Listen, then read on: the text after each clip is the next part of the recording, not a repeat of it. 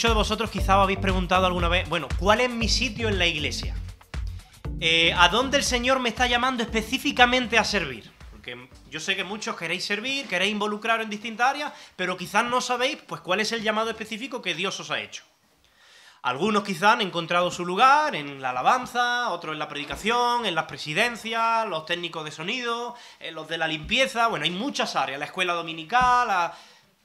pero quizás muchos todavía os preguntáis, bueno, ¿y cuál es mi llamado? ¿Y cómo puedo yo servir al Señor? Yo todavía no he descubierto mi llamado específico.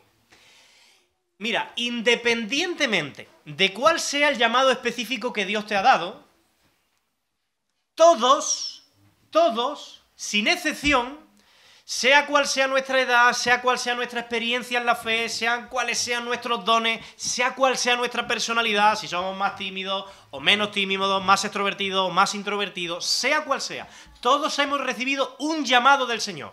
¿Cuál es ese llamado? ¿Lo sabéis? ¿Cuál? Predicar. Lo que en el Nuevo Testamento se conoce como la gran comisión, el hacer discípulos. Así que si no sabes lo que hacer, ya sabes lo que tienes que hacer la misión principal de la iglesia, la misión principal por la cual Jesús te ha salvado, por la cual Dios te ha rescatado del reino de las tinieblas y te ha llevado al reino de su amado Hijo, es para que tú prediques el Evangelio. Esa es tu misión principal. Lo demás son misiones secundarias, también importantes, pero la principal, tu propósito en la vida como cristiano es este. Y me gustaría que pudiéramos meditar hoy brevemente en un solo versículo. Así que si podéis acompañarme en vuestras Biblias al Evangelio de Marcos, capítulo 16, versículo 20. Evangelio de Marcos, capítulo 16, versículo 20. Es el último versículo del Evangelio de Marcos.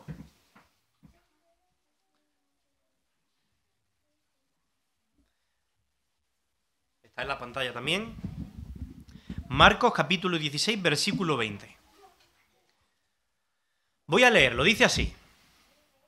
Y ellos, saliendo, predicaron en todas partes, ayudándoles el Señor y confirmando la palabra con las señales que la seguían. Amén. Déjame leerlo otra vez. Y ellos, saliendo, predicaron en todas partes, ayudándoles el Señor y confirmando la palabra con las señales que le seguían. Amén.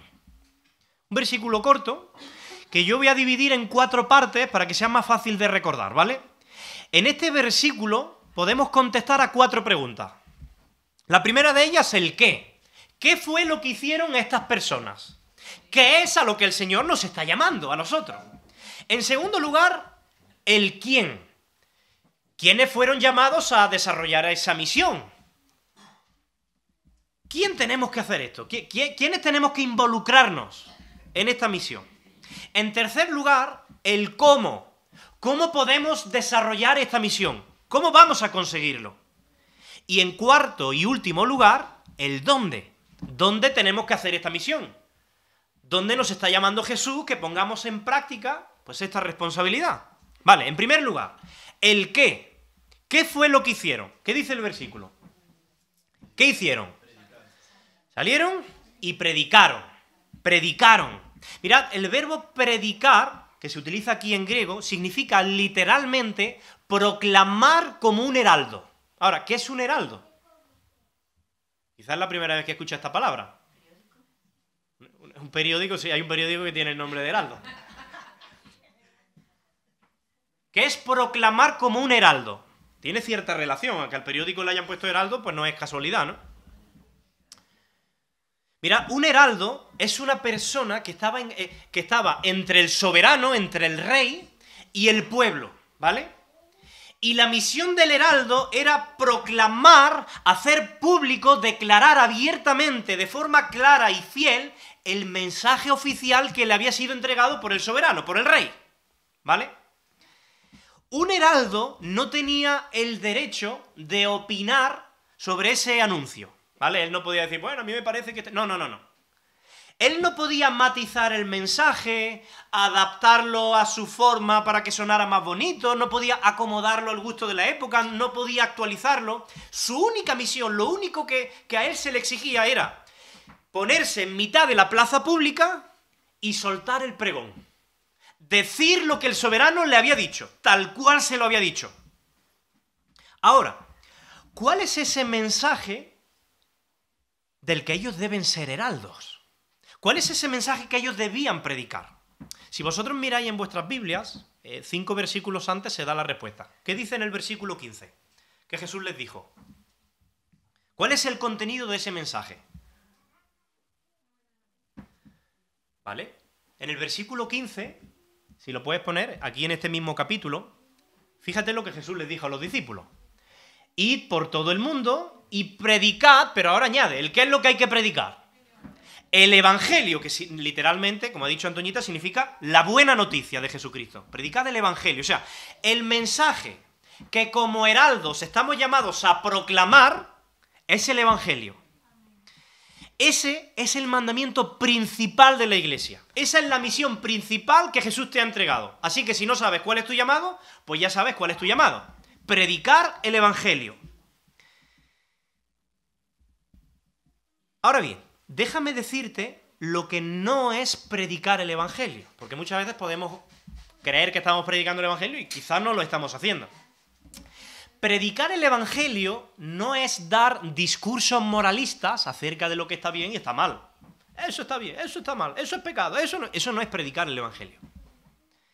Predicar el Evangelio no es simplemente dar pan al hambriento y ayudar a los pobres. Eso hay que hacerlo y está bien y es nuestra misión como cristianos. Pero eso no es predicar el Evangelio. Predicar el Evangelio no es portarse solamente bien en el instituto o en la universidad, jóvenes. Predicar el Evangelio no es solamente invitar a un amigo a la iglesia. Predicar el Evangelio no es decirle a la gente que Dios existe o que tú crees en Dios. Predicar el Evangelio no es salir a la calle y decirle a la gente, Dios te ama. Oye, no me malentienda. Todo esto está bien y, está bien que lo hagamos, pero predicar el Evangelio no es simplemente esto. ¿El Evangelio qué es? Decídmelo vosotros.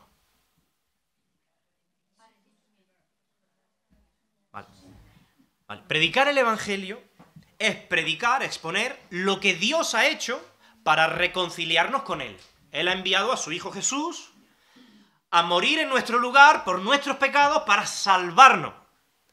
Y eso exige, como estabais diciendo, el arrepentimiento sincero de nuestra parte y la fe en lo que Él ha hecho por nosotros. Ese es el mensaje del Evangelio. Así que tu misión principal como cristiano es ser heraldo de Jesucristo. Publicar en primer lugar esta buena noticia. Vivir de acuerdo a ella, evidentemente y luego dejar que el Señor haga lo que bien le parezca. Ahora bien, la pregunta número dos. Ya hemos visto el qué. ¿Qué fue lo que hicieron? Predicaron el Evangelio. La pregunta número dos. ¿Quién? ¿Quién hizo esto? ¿Qué dice el versículo? El versículo 20, si lo puedes poner de nuevo. ¿Quiénes lo hicieron? Ellos. Dice ellos. Ahí no se aclara bien quiénes son. Ahora, ¿quiénes son ese, esos, esos ellos? Muy bien, los discípulos. Si estáis leyendo el contexto como Antoñita, pues entonces lo veis claro, son los discípulos. Ahora, que quede claro que ellos no son un grupo de héroes. No son unos super heraldos, unos supermanes, no son hombres super valientes, no son personas que han estudiado en un seminario, no son un grupo de líderes especialmente seleccionados por Jesús, por la valentía que mostraban, no, no. En todo caso era lo contrario. Si vosotros miráis en el versículo 10 de este mismo capítulo, si lo podéis poner en pantalla, fijaos que ellos no eran hombres especialmente valientes. Fíjate lo que dice. Dice que eh, yendo ella lo hizo saber a los que habían estado con él, a los discípulos. ¿Y cómo estaban los discípulos? Estaban tristes y llorando en el mismo capítulo. No eran hombres especialmente valientes. Un versículo después nos dice que cuando María Magdalena les anuncia a estos discípulos que Jesús había resucitado, ellos cómo reaccionaron. Dice, y cuando oyeron que vivía, que había sido visto por ella, no lo creyeron. O sea que aparte de estar tristones, acobardados, encima son incrédulos. Son personas pues, que tienen dudas en su fe. Personas que tienen y experimentan crisis de fe. El versículo 12, fíjate lo que dice. Dice que iban unos discípulos camino a Emaús, cuenta la escena. Dice, pero después apareció de otra forma a dos de ellos que iban de camino. Está hablando de Jesús que se aparece a dos discípulos suyos. Siguiente versículo, el 13. Ellos fueron y lo hicieron saber a los otros. ¿Y qué dice? Y ni aún ellos creyeron. O sea, es que no creían. Es que tenían corazones duros, eran tercos de cabeza. ¿Por qué estoy diciendo esto? Porque ellos no se caracterizaban por tener una super fe. En todo caso, tenían una super incredulidad. No eran un grupo de supermanes, como he dicho antes. Son gente débil, y yo quiero que tú la mires ahí en el texto. Que están llorando, que están tristes, que tienen dudas en su fe, que lo están pasando mal, que están confundidos, que tienen un corazón cerrado. Y lo que ellos necesitan es que Jesús los coja del pecho y los zarandee un poquito y les meta un meneo. Eso es lo que necesitan. Que le diga cuatro palabras bien dichas. Y de hecho, si vosotros leéis ese capítulo, eso fue lo que Jesús hizo con ellos. Si puedes poner el versículo 14, un versículo después, fíjate lo que Jesús hizo. Dice, finalmente se apareció a los once mismos, Jesús. Y estando ellos sentados a la mesa, aquí los coge ya del pecho, ¿no? Y le reprochó la incredulidad y dureza del corazón. Esos son ellos. Porque no habían creído a los que le habían visto resucitado. Jesús les reprocha la incredulidad, les echa en cara la dureza de sus corazones, los culpa de no creer en el testimonio de María Magdalena, ni de los demás testigos. Jesús censura la conducta de ellos, reprende sus actitudes, les mete un zarandeo, pero después, solo un versículo después, solo un versículo después, les da un trabajo. Id por todo el mundo. A pesar de vuestras dudas, a pesar de vuestro miedo, a pesar de vuestra incredulidad, a pesar de vuestras crisis, a pesar de vuestras debilidades, id por todo el mundo y predicad el Evangelio a toda criatura. Él los reprende, pero luego los afirma y los envía. Y esto es muy bonito, esto tiene que darnos esperanza.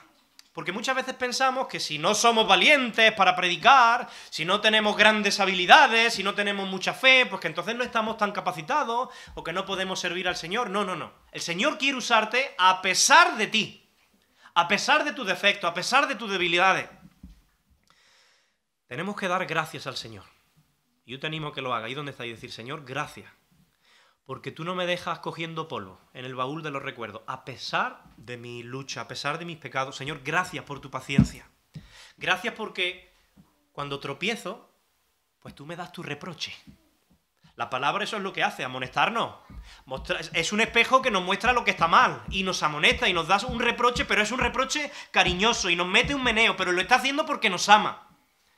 Porque el Señor quiere utilizarnos. Él nos riñe, nos regaña, nos corrige, pero luego ¿qué es lo que hace Jesús con ello? Nos pone en el arco y nos lanza al blanco de sus propósitos. Eso es lo que Él está haciendo, ¿no? Así que, tú que me escuchas hoy, no importa cuáles sean tus dones, no importa si estás pasando por un momento más difícil, si estás desanimado, no importa si eres introvertido o extrovertido, si tienes miedo, si no lo tienes. Jesús quiere usarte y Él quiere usarte probablemente mucho más de lo que puedas imaginar. Ahora, quizá te pregunte, bueno, ¿y cómo voy a hacer yo eso? ¿Cómo voy a ser yo un heraldo de su evangelio? Si, si yo soy tan tímido, si me trabo hablando, si... Imagínate que me hacen una pregunta y ahora no sé qué contestar. ¿Y si se ríen de mí cuando les predico el evangelio? Ahora, quiero que piense que estos discípulos, que eran cobardes, que estaban llorando, que eran tristones, ellos se planteaban las mismas preguntas que tú te estás planteando. Ahora, ¿qué dice el versículo 20? Si podemos volver. Vamos a contestar la tercera pregunta. ¿Cómo hicieron ellos esto? Ya hemos visto el qué, predicaron. Hemos visto el quiénes, ellos. Pero ¿cómo lo hicieron? ¿Cómo lo consiguieron? Dice el texto, ayudándole, bueno, lo leo desde el principio, y ellos, saliendo, predicaron en todas partes. ¿Cómo? Ayudándoles el Señor y confirmando la palabra con las señales que la seguían. Ahora, ellos no eran hombres valientes, algunos de ellos eran tímidos, muchos no tenían estudios, jamás habían estudiado en un seminario, incluso tenían dudas, luchas personales, eran de carne y hueso como tú y como yo, enfrentaban los mismos miedos que enfrentamos tú y yo cada vez que vamos a compartir el Evangelio. Pero si tú sientes esos miedos, si tú te, te dices a ti mismo, ay madre mía, si se ríen de mí, ay madre mía, si me hacen una pregunta y ahora yo no sé qué decirle. Mira, no te agobies por esto. No te frustres si al predicar el Evangelio a ti te rechazan. No te frustres si se ríen de ti, si piensan que el Evangelio es una locura, una tontería. Porque Jesús no te está llamando en este versículo a tener éxito. Jesús no te está llamando a eso. Jesús simplemente te está llamando a predicar el Evangelio. De los resultados se encarga Él. Eso no depende de ti. Tú cumple tu parte y este texto nos dice que Dios se va a encargar de la suya. Dice el versículo 20 que cuando ellos salieron y predicaron, cuando ellos cumplieron su parte, Dios hizo la parte que a ellos no les correspondía, ayudándoles al Señor y confirmando la palabra con las señales, ayudándoles el Señor. Ellos comprobaron que cuando ellos decidieron obedecer a Jesús, a pesar de sus miedos, de sus inquietudes, experimentaron que más allá de su fuerza, más allá de sus habilidades, más allá de sus dones, se manifestaba la potencia, el poder de Dios a través de sus vidas. Ellos se quedaban sorprendidos, decían, ay madre mía, ¿y cómo el Señor me ha utilizado? Con lo torpe que yo soy. Lo que este versículo enseña es que Dios se compromete, Dios se compromete a ayudarnos, a ayudarte a ti, si tú te comprometes a servirle y obedecerle predicando el Evangelio. Y el Señor que se está comprometiendo a ayudarte no es alguien muy poderoso. Es que es el Todopoderoso.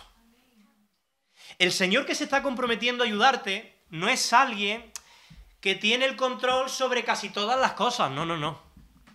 Es que es aquel a quien le ha sido dada toda autoridad en el cielo y en la tierra, que está sentado a la diestra de Dios, que gobierna. Dice el versículo 19, un versículo antes, si lo puedes poner, que el Señor, después de que les habló, fue recibido arriba en el cielo y se sentó ¿dónde? A la diestra de Dios.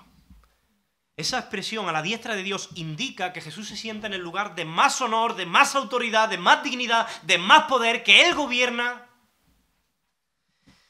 Y ese Jesús que tiene dominio sobre todas las cosas, es el Jesús que se ha comprometido en el versículo 20, si lo puedes poner de nuevo, a ayudarte cada vez que tú prediques el Evangelio en tu familia, con tus vecinos, en tu trabajo, en este pueblo de Torre del Campo cuando salgamos en impacto en el mes de agosto. Y esa verdad de que el Señor va a ayudarnos tiene que darnos mucho descanso, tiene que animarnos a cumplir la misión, la gran comisión. Porque tenemos que recordar que no dependemos de nosotros, de nuestras habilidades, que no depende de ti, que el Señor te va a sorprender, que Él te va a respaldar. Entonces sal, sal sin miedo, sin, sin fijarte en los resultados. De los resultados se encarga Él. Tú haz tu parte, ser un heraldo. Ahora, la cuarta y última pregunta. ¿Dónde desarrollaron ellos esta misión? ¿Dónde estamos llamados a desarrollar esta misión? Dice el versículo 20 que ellos, saliendo, predicaron ¿dónde? En todas partes. La orden de Jesús, en el versículo 15, fue precisamente esa. Y por todo el mundo. Y predicadle por todas partes. Eso fue, si tú miras los evangelios y si tú miras el libro de los hechos, eso fue precisamente lo que hicieron los discípulos. Allá por donde iban, iban predicando el evangelio. De Jerusalén a Antioquía, de Antioquía a Asia Menor, que si luego recorrían y se iban a Roma y tal. Todos lo recorrieron, predicando el evangelio, dando testimonio, confirmando las iglesias. Ahora bien, los discípulos ya no están, esos apóstoles ya no están. ¿A quién le toca entonces desarrollar esa misión? Nosotros somos ahora esos discípulos de Jesús. Nos toca a ti y a mí predicar ese evangelio. Así que quizás podemos decirle al Señor, Señor, hazme conocer mejor la dulzura de tu evangelio. Ayúdame a comprender la belleza de, de este evangelio, a quedar cautivado, sorprendido apreciarlo por encima de cualquier otra cosa, porque si tú lo aprecias de verdad, tú no vas a poder callarlo. Es que esto es una buena noticia de verdad. Si a ti te toca la lotería, pues me cuesta mucho que no se lo diga a nadie. Porque es una buena noticia, las buenas noticias se cuentan. Pues esta es la mejor noticia que nos ha podido tocar. En tu instituto, en tu colegio, en tu universidad, en tu trabajo, en tu familia, en tu pandilla, en tu grupo de amigos, predica el Evangelio. La pregunta que yo quiero dejar hoy de reflexión es la siguiente. ¿Qué estás haciendo tú hoy con la misión que Dios te ha encargado de predicar el Evangelio? Piénsalo. ¿Estás haciendo esfuerzos intencionales por obedecerla? O quizás estás justificándote diciendo, bueno, eso pertenece a otros, a los misioneros. No es así. Antes Tony ha dicho en la oración que somos misioneros 24. Todos, todos los creyentes hemos recibido esta misión. Somos misioneros 24 horas del día, los 7 días de la semana. ¿Qué estás haciendo tú para cumplir esta misión? En este último mes, ¿Cuántas veces le has predicado el Evangelio a alguien?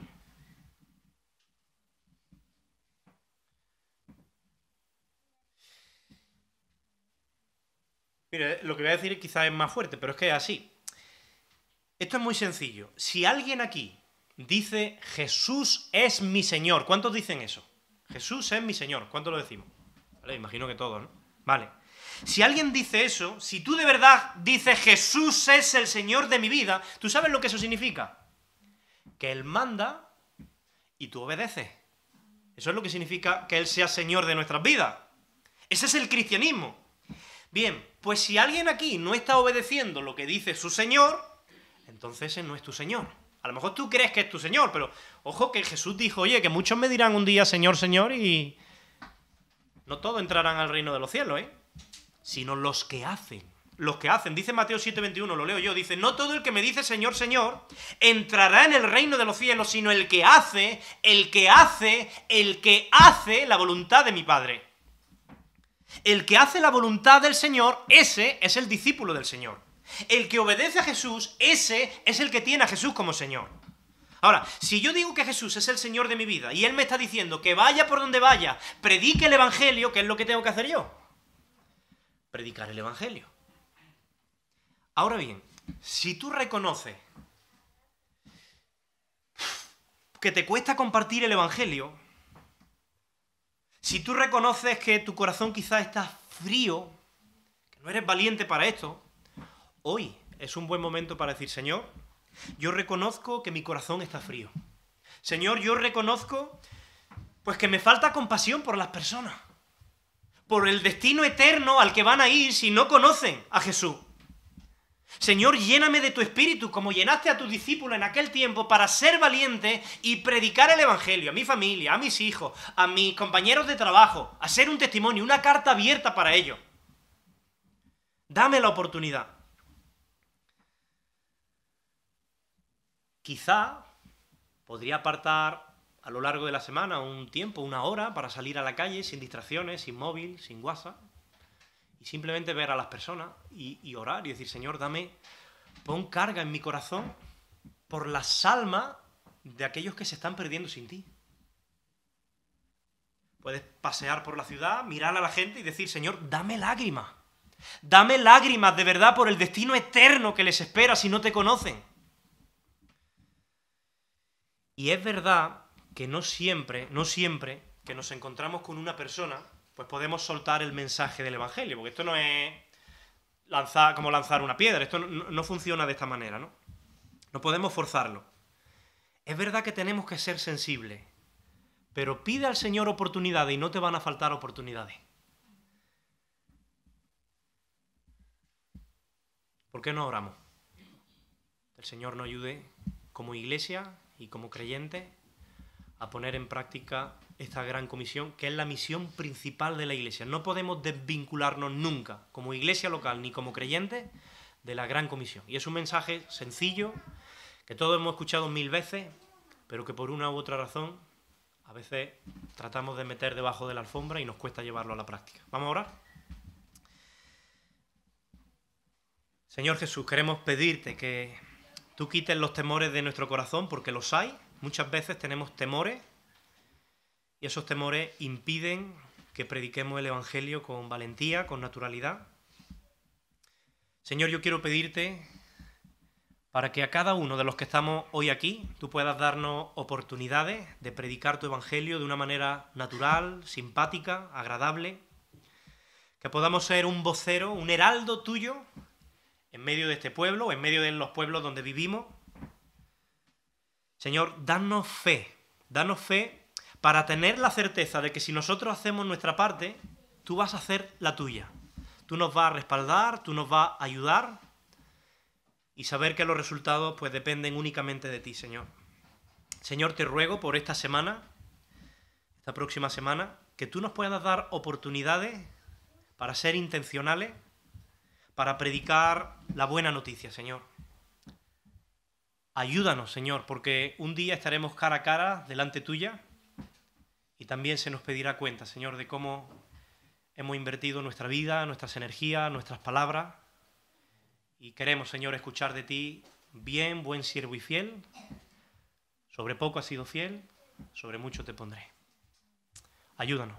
Amén, Señor.